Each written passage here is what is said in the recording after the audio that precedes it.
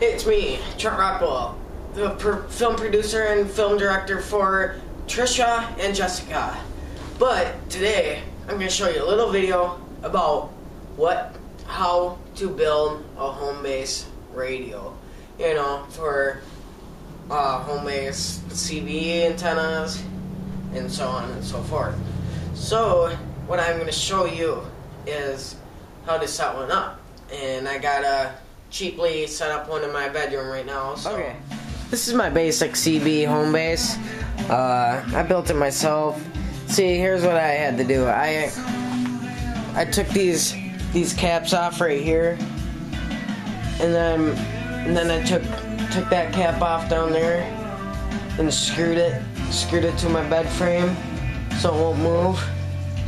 Got a new mic, and I uh I got this from an old boat that was in a uh, old place. It's just a just a marine CB antenna.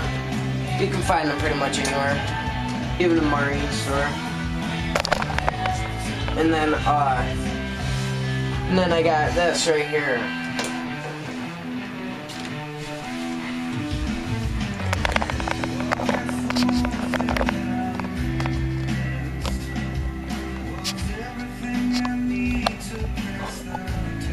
Okay, so I got I got this right here.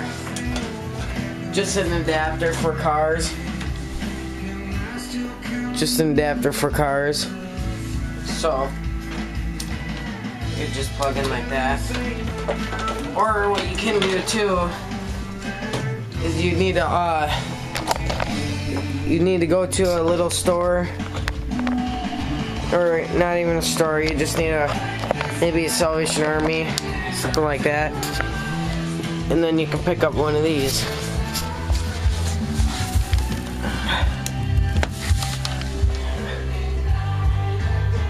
Oh crap.